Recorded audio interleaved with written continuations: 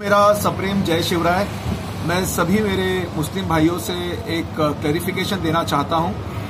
मैंने जो कल अपने औरंगाबाद के अंदर जो हादसा हुआ, जो एक बच्चे ने छत्रपति शिवाजी महाराज के खिलाफ में गलत अंदाज में बात किया, उसके संदर्भ में जो मैंने भूमिका ली थी, वो भूमिका पूरी पूरी तरह एमआईएम के खिलाफ थी, वो मुसलमानों के खिलाफ नहीं थी। और इसको अलग तरीके से लोगों में फैलाया जा रहा है कि हर्षवर्धन जाधव मुसलमानों का मुसलमानों के खिलाफ में है।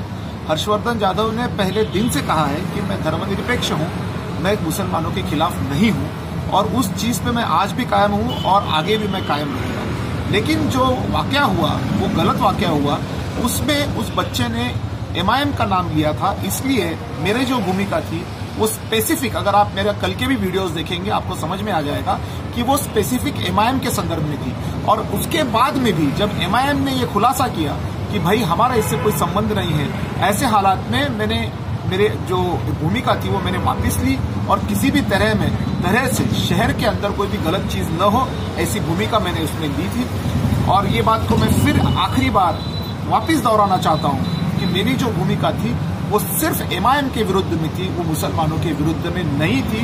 मैं मुसलमानों के साथ हूँ और आखिरी दम तक मैं उनके साथ में रहूँगा, सबके साथ रहना ये छत्रपति शिवाजी महाराज की सीख है और उसी हिसाब से मैं काम कर रहा हूँ। शुक्रिया। जय शिव